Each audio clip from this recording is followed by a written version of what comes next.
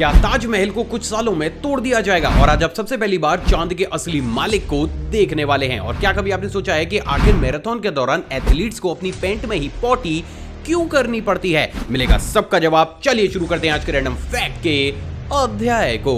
Fact number twenty हम सभी जानते हैं कि हॉरर शोज़ यूथ में काफ़ी ज़्यादा पॉपुलर होते हैं, लेकिन क्या कभी आपने सोचा है कि आखिर इन तरीके के शोज़ की शुरुआत हमारे देश भारत में कब और कहाँ से हुई? असल में दोस्तों, भारत के सबसे पहले हॉरर शो को साल 1993 में जी चैनल के द्वारा जी हॉरर शो के नाम से देश के सामने लाया गया था, जिसके सबसे पहले एपिसोड की कुछ स्पेशल झलकियाँ अभी आपकी स्क्रीन पर आपको दिख भी रही है, और यहीं से ही हमारे देश भारत में हॉरर शोज़ का ट्रेंड अपने चरम पर पहुँचा था, सच में रेयर फैक्ट नंबर 19 क्या आपको बताया कि इस दुनिया में मौजूद अफ्रीकनाइज्ड बी अगर किसी भी इंसान को डंक मार दे तो उस इंसान का देहांत मात्र उस डंक के दर्द की वजह से ही हो जाता है। लेकिन यहाँ पर सबसे बड़ा ट्विस्ट ये है दोस्तों कि ये बीज नेचर की देन नहीं, बल्कि हम इंसानों की ही देन है। असल में दोस्तों, साल 1957 में वॉरविक एस्टिवन नाम के एक साइंटिस्ट ने अफ्रीकन और यूरोपियन बीज के डीएनए को कंबाइंड करके इन अफ्रीकनाइज्ड बीज को बनाया था, जिससे कि वो ज़्यादा से ज़्यादा हनी को कलेक्ट कर सकें। लेकिन जैसे ही ये बीज बनकर तैयार हुई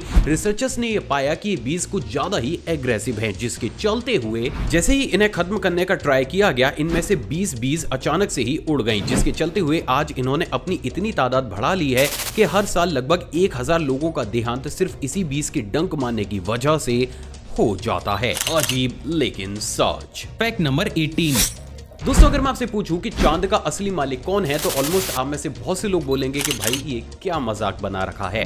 लेकिन क्या हो कि अगर मैं आपको चाँद के असली मालिक से मिलवा दूँ, मिलिए डेनिस होप से, जो कि सिर्फ़ जरा सा ही दिमाग लगाकर चाँद के मालिक बन गए हैं। असल में दोस्तों, साल 1967 में हुई United Nations outer space treaty में हर एक देश ने इस बात पर सहमति जताई थी कि वो आउटर स्पेस के किसी भी प्लेनेट पर अपना अधिकार नहीं जताएँगे। लेकिन इस ट्रीटी में सबसे बड़ी कमी ये थी कि यहाँ पर ये मेंशन नहीं किया गया था कि देश के साथ कोई इंडिविजुअल नागरिक भी चाँद के ऊपर अपने अधिकार को नहीं जताएगा। और इसी कमी को पकड़ते हुए डेनिस ने यूएस गवर्नमेंट को ये लेटर लिखा कि वो ही चाँद के असली मालिक हैं। अब क्योंकि ये चीज़ और लेटर यूएसए गवर्नमेंट को सिर्फ़ एक मज़ाक लगा तो उन्होंने इसका रिप्लाई कभी भी दिया ही नहीं। जिसके चलते हुए इस शख्स ने महज कुछ टाइम पीरियड के दौरान ही 611 मिलियन एकड़ की चाँद की ज़मीन को अरबों खरबों रुपए में बेच डाला। एंड इन दी लास्ट जब यूएस गवर्नमेंट को इस घोटाले के बारे में पता चला तो ये देख उनके होश उड़ गए। और वास्तव में ये चीज़ सर चकरा देने वाली ज़रूर थी। फैक्ट नंबर 17 दोस्तों कमियाँ हर किसी में होती हैं। फिर वो चाहे एक साधारण इंसान हो या फिर एक सन की तानाशाह। और उसी की तर्ज पर क्या आपको पता है कि किम जॉन उन इस पूरी दुनिया के इकलौते ऐसे लीडर हैं जो कि पब्लिक प्लेसेस में अपने शूज़ को छिपाने के लिए मजबूर हो जाते हैं। और इसके पीछे का सबसे बड़ा कारण उनके शूज़ में लगने वाला एक्स्ट्रा हील सोल है। असल में दोस्तों अभी हाल ही में जारी हुए एक कंपनी के स्टेटमेंट में ये बात सामने आई है कि किम अपनी हाइट ज़्यादा दिखाने के लिए स्पेशली एक्स्ट्रा हील वाले शूज़ को बनवाते हैं। और लोगों की नज़र इन शूज़ पर ना पड़े, इसलिए वो एक्स्ट्रा लॉन्ग पैंट्स को भी पहनते हैं। और ये चीज़ वास्तव में काफ़ी ज़्यादा अजीब है, जहाँ पर एक देश के लीडर को इन तरीके की अजीब सी हरकतें करनी पड़ती है। फैक्ट नंबर 16 दोस्तों, अक्सर ये कहा जाता है कि ताली एक हाथ से नहीं बजती, लेकिन बात जब इंडियंस की आती है तो शायद यहाँ पर इम्पॉसिबल शब्द हमारी डिक्शनरी में है ही नहीं। मिलिए अनमोल कैलाश से, जिनके की नाम कुछ इस तरीके से एक हाथ से ही एक मिनट के अंदर 400 से भी ज़्यादा बार क्लैप्स करने के वर्ल्ड रिकॉर्ड को किया गया है। और इस वीडियो क्लिप को देखने के बाद आप ये कह सकते हैं की फॉर श्योर ताली एक हाथ से बज सकती है।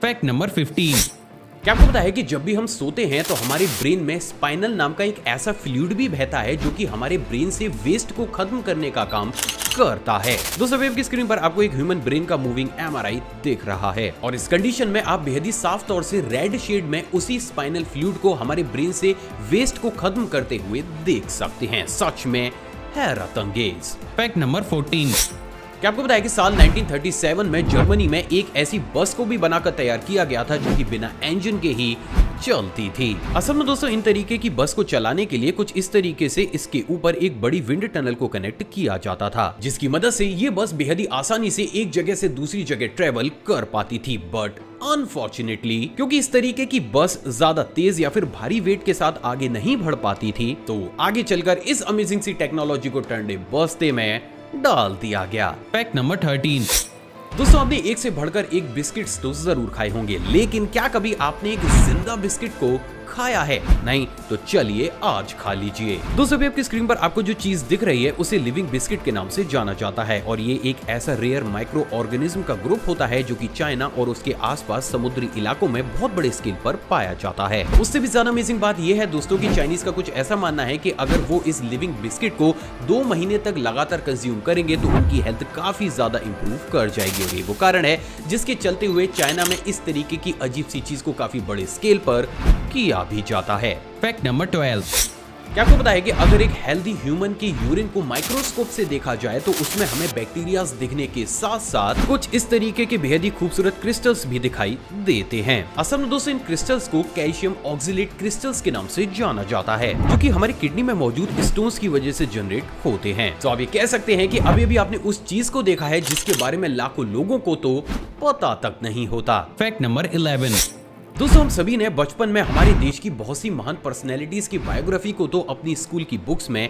पढ़ा ही है। लेकिन क्या आपको पता है कि अब ये चीज़ हमारे देश, भारत से निकलकर विदेशों तक में फैल चुकी है? असल में दोस्तों कैम्ब्रिज के किंग्स कॉलेज की एक बुक के अंदर हमारे देश के जाने माने एक्टर शाहरुख खान की बायोग्राफी को पढ़ाया जाता है, ताकि वहाँ के लोग ये समझ सके की आखिर कैसे एक गरीब परिवार का बच्चा अपने सपने को साकार करते करते बॉलीवुड इंडस्ट्री का किंग बन बैठा और वास्तव में ये चीज़ हर भारतीय के लिए गर्व की बात ज़रूर है। तो गाइस इस अमेजिंग फैक्ट पर इस वीडियो पर एक लाइक तो बनता ही है। फैक्ट नंबर टेन दोस्तों, हम सभी डॉग, कैट या फिर एलिफेंट जैसे एनिमल को तो जानते ही हैं। लेकिन अगर मैं आपसे पूछूँ कि क्या कभी आपने ऑड वर्क नाम के एनिमल को देखा है तो क्या उसका बिल्कुल सटीक आंसर आपके पास मौजूद होगा? दोस्तों वेब की स्क्रीन पर आपको जो एनिमल दिख रहा है, उसे ऑड वर्क के नाम से जाना जाता है। अमेजिंग बात यह है दोस्तों की ये एनिमल इतना ज़्यादा रेयर होता है की अभी हाल ही में यूके के एक जू में इस एनिमल ने नब्बे सालों के बाद जन्म लिया है। और यही चीज़ इस एनिमल और इस वीडियो क्लिप को काफ़ी ज़्यादा रेयर भी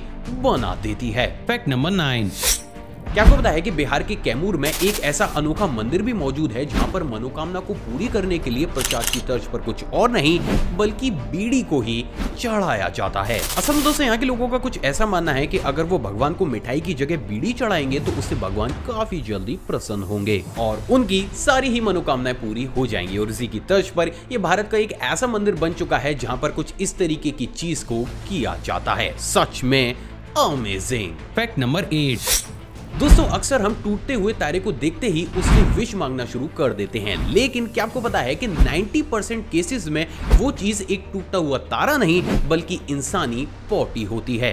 नहीं समझे? तो चलिए समझाता हूँ। असल में दोस्तों आईएसएस में मौजूद एस्ट्रोनॉट्स पॉटी करने के बाद उसे एक ड्राई चैम्बर में इकट्ठा कर देते हैं। लेकिन जैसे ही वेस्ट काफ़ी बड़े स्केल पर इकट्ठा हो जाता है तो उसे एक कैप्सूल नुमा इक्विपमेंट में भरकर तेज स्पीड के साथ अर्थ की तरफ़ फेंक दिया जाता है। जो जैसे ही अर्थ के एटमोस्फेयर में एंटर करता है वो कुछ इस तरीके से एक टूटे तारे की तरह जलकर खत्म हो जाता है। तो नेक्स्ट टाइम अगर आप आसमान में किसी टूटे हुए तारे को देखकर विश मांगे तो एक बार ये ज़रूर सोच लीजिएगा कि क्या वो एक वास्तव में टूटा हुआ तारा है या फिर सिर्फ़ इंसानी पॉटी फैक्ट नंबर सेवन बदलते मौसम में सर्दी जुकाम होना काफ़ी आम बात है लेकिन क्या हो कि अगर यही सर्दी जुकाम आपकी याददाश्त ही ले जाए मिली क्लैरी रीस से, जो कि यूके की एक जर्नलिस्ट हैं। स्ट्रेंज बात यह है दोस्तों कि सर्दी जुकाम के चलते हुए जब क्लैरी एक दिन सोने गई तो वो सीधा दो हफ्तों के लिए कोमा में ही चली गईं। उससे भी ज़्यादा स्ट्रेंज बात यह है दोस्तों कि जब इन्हें होश आया तो क्लेरी की फैमिली ने ये नोटिस किया कि क्लेरी लगभग 20 सालों की यादों को पूरे ही तरीके से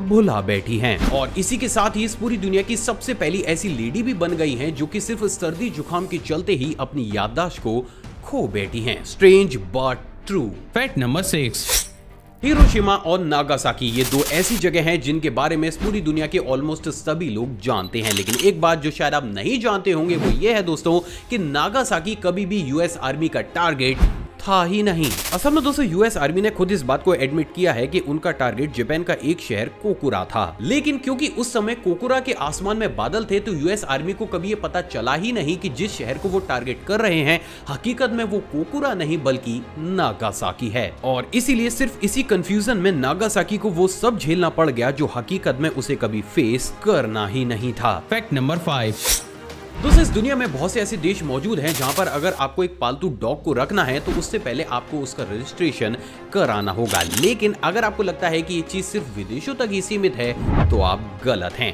असल में दोस्तों, हमारे देश भारत में भी बहुत सी ऐसी सिटीज़ मौजूद हैं जहाँ पर अगर आपको एक पालतू डॉग को रखना है तो आपको उसका रजिस्ट्रेशन कराना होगा। और इन्हीं सिटीज़ में से अब गाजियाबाद भी एक सिटी बन चुकी है। असल में दोस्तों अभी हाल ही में जारी की गई रिपोर्ट से बात पूरी तरीके से साफ़ हो चुकी है कि अगर गाजियाबाद के लोग 31 मार्च तक अपने पेट डॉग्स का रजिस्ट्रेशन नहीं कराएँगे तो उनसे पेनल्टी के तर्ज पर काफ़ी मोटी रकम वसूली जा सकती है। वैसे क्या ये लॉ सही है या फिर गलत आप अपनी राय कमेंट सेक्शन में ज़रूर दीजिएगा। फैक्ट नंबर फोर क्या आपको पता है कि मासूम सी दिखने वाली इस गौरैया बर्ड ने एक समय पर साढ़े चार करोड़ लोगों को खत्म किया था। असल में दोस्तों वाक्य था साल 1958 का, जब चाइना के एक लीडर माओ जेडोंग ने स्पैरो बर्ड सहित बहुत सी बर्ड्स को सिर्फ़ इसीलिए खत्म करा दिया क्योंकि ये अनाज के दानों को खा जाती थी। लेकिन जैसे ही चाइना में इन तरीके की बर्ड्स की संख्या ऑलमोस्ट ज़ीरो के आसपास पहुँची छोटे मोटे कीट पतंगों ने चाइना की फ़सलों के ऊपर अटैक कर दिया, जिसके चलते हुए चाइना में इतने बड़े स्केल पर भुखमरी फैली की इसने लगभग साढ़े चार करोड़ लोगों को खत्म कर दिया। और शायद इसीलिए ही कहा जाता है कि नेचर के साथ खिलवाड़ करना हमेशा ही भारी पड़ता है। Fact number three. दूसरा वाला फैक्ट करंट अफेयर की तर्ज पर है। क्या आपको बताया कि अभी हाल ही में नौ वर्षीय रियांश सोरानी दुनिया की सबसे कम उम्र के सर्टिफाइड योगा इंस्ट्रक्टर बन चुके हैं, जिसके चलते हुए इनके नाम एक अविश्वसनीय से वर्ल्ड रिकॉर्ड को भी कर दिया गया है। Fact number two. Marathon runner अपनी पैंट में पहुँची, क्यों करते हैं? असल में दोस्तों, बहुत ही कम लोगों को यह मालूम होगा, लेकिन इस दुनिया में मौजूद ऑलमोस्ट सभी मैराथन रनर्स मैराथन के दौरान अपनी पैंट में पहुँची, कर देते हैं। लेकिन आखिर ऐसा क्यों? असल में दोस्तों, जब भी हम तेज स्पीड के साथ दौड़ते हैं तो हमारी बॉडी में गैस्ट्रिक मोबिलिटी काफ़ी ज़्यादा इंक्रीज होने लगती है। जिसकी वजह से जब हमारी बॉडी काफ़ी ज़्यादा हीट को प्रोड्यूस करने लगती है तो वो हीट और गैस्ट्रिक मोबिलिटी गैस्ट्रिक चेंबर को खाली करने के लिए ज़बरदस्ती उस पर प्रेशर डालना शुरू कर देती देती है। और ये एक साइकोलॉजिकल प्रोसेस होता है जो कि इस कंडीशन में हमारी बॉडी रिप्रेजेंट करती है। और यही वो कारण है जिसके चलते हुए जब एक एथलीट काफ़ी तेज स्पीड के साथ दौड़ना शुरू करता है तो कुछ परसेंटेज में ना चाहते हुए भी उसकी बॉडी पेंट के अंदर ही पॉटी को रिलीज़ कर देती है, जिसको की मेडिकल लैंग्वेज में रनर्स ट्रॉट्स या फिर जिंजर ब्रेड मैन प्रोसेस के नाम से जाना जाता है। सो so फाइनली अब आप ये भी जानते हैं कि आखिर क्यों मैराथन रनर्स पेंट के अंदर ही पॉटी कर देते हैं। फैक्ट नंबर वन क्या वास्तव में ताजमहल को तोड़ दिया जाएगा? असल में दोस्तों, आपको ऑनलाइन बहुत से आर्टिकल्स ऐसे देखने को मिलेंगे जिनमें कि यह दावा किया जा रहा है कि ना चाहते हुए भी आगे आने वाले समय में हमें ताजमहल जैसी बिल्डिंग को तोड़ना पड़ेगा। लेकिन आखिर ऐसा क्यों? असल में दोस्तों, अभी हाल ही में जारी की गई एक रिपोर्ट के अनुसार ताजमहल को पॉल्यूशन से पिछले दस सालों में जितना ज़्यादा नुकसान हुआ है, उतना नुकसान उसे सौ सालों में कभी भी नहीं हुआ था। और इसका सबसे बड़ा कारण एटमोस्फेयर में मौजूद नैनो पार्टिकल्स है, जो की ताजमहल के मार्बल के साथ सीधा कॉन्टेक्ट करके उसे डैमेज करने के साथ साथ येलो कलर में भी कन्वर्ट कर देते हैं, जिसके चलते हुए ये बिल्डिंग ऊपर से काफ़ी ज़्यादा कमज़ोर होती हुई चली जा रही है। तो वहीं दोस्तों, बात अगर इस बिल्डिंग की नींव की की जाए तो इसकी नींव को सागवान लकड़ी आयरन और ब्रिक्स का इस्तेमाल करते हुए बनाया गया है। अब यहाँ पर सबसे ज़्यादा अमेजिंग बात यह है दोस्तों कि इस बिल्डिंग की नींव को कुछ इस तरीके से डिज़ाइन किया गया है कि जब तक ये नींव पानी के कॉन्टेक्ट में रहती है, ये स्ट्रॉन्ग बनती हुई चली जाती है। But on the other hand बात अगर प्रेजेंट डेट की की जाए तो समर सीज़न में यमुना का लेवल इतना ज़्यादा कम हो जाता है कि कुछ महीनों तक तो इस बिल्डिंग की नींव को प्रॉपर तरीके से पानी मिल ही नहीं पाता है। जिसके चलते हुए कुछ एक्सपर्ट्स का ऐसा मानना है कि ताजमहल हर साल कुछ मिलीमीटर नीचे भी धसता हुआ चला जा रहा है। जिसके चलते हुए ना सिर्फ़ ये बिल्डिंग ऊपर से काफ़ी ज़्यादा डैमेज हो रही है, बल्कि ये नींव से भी काफ़ी ज़्यादा कमज़ोर हो चुकी है। और शायद यही वो कारण है जिसके चलते हुए एक्सपर्ट्स का कुछ ऐसा मानना है कि अगर इन सारी चीज़ों को कंट्रोल नहीं किया गया तो वो दिन दूर नहीं होगा जब लोगों की सेफ्टी के लिए इस बिल्डिंग को ना चाहते हुए भी खत्म करना पड़ेगा। लेकिन क्या ऐसा करना वास्तव में एक सॉल्यूशन हो सकता है। असल में दोस्तों प्रेजेंट डेट में सेंटर और यूपी गवर्नमेंट हर वो संभव प्रयास कर रही हैं, जिसकी वजह से इस अनमोल धरोहर को सेव रखा जा सके। और इसीलिए ताजमहल के आसपास उन सभी चीज़ों पर रेस्ट्रिक्शन को लगा दिया गया है, जिसकी वजह से एयर में पॉल्यूशन जनरेट होता है। तो वही दोस्तों, बात अगर वाटर लेवल्स की की जाए तो बहुत से ऐसे प्लान हमारे सामने आए हैं, जिसमें गवर्नमेंट के द्वारा ये प्लान किया जा रहा है की वो जल्द ही एक बाँध बनाकर यमुना के वाटर लेवल को मेंटेन कर देंगे। हालाँकि ये सारी चीज़ें कितनी ज़्यादा इफ़ेक्टिव होंगी, ये तो अब आगे आगे आने वाला वक्त ही बताएगा। लेकिन प्रेजेंट डेट में हम बस इस बिल्डिंग को सुरक्षित रखने के लिए हर संभव प्रयास ही कर सकते हैं। और जो हमारी इंडियन गवर्नमेंट के द्वारा नो डाउट बहुत बड़े स्केल पर किया भी जा रहा है। सो so फाइनली अब आप ये भी जानते हैं कि आखिर वो कौन सी चीज़ें हैं जिसकी वजह से ताजमहल कमज़ोर होता हुआ चला जा रहा है। दोस्तों, किसी ने खूबी कहा कि का जितना सारा बांटा जाता है कमेंट इस वीडियो को दिल को लाइक शेयर और कमेंट ज़रूर कीजिएगा। दोस्तों, इस चैनल को आप सब्सक्राइब ज़रूर कीजिएगा क्योंकि हम बहुत ही जल्द दो मिलियन की फैमिली बनने वाले हैं। साथ ही साथ, दोस्तों, अपनी नॉलेज को और ज़्यादा बूस्ट करने के लिए आप इस प्ले को भी चेकआउट कर सकते हैं और चाहे तो मुझे इंस्टाग्राम पर भी फॉलो कर सकते हैं। एक और फ्रेश कमाल वीडियो में आप सभी से दोबारा मुलाकात होगी, दोस्तों। जय हिंद।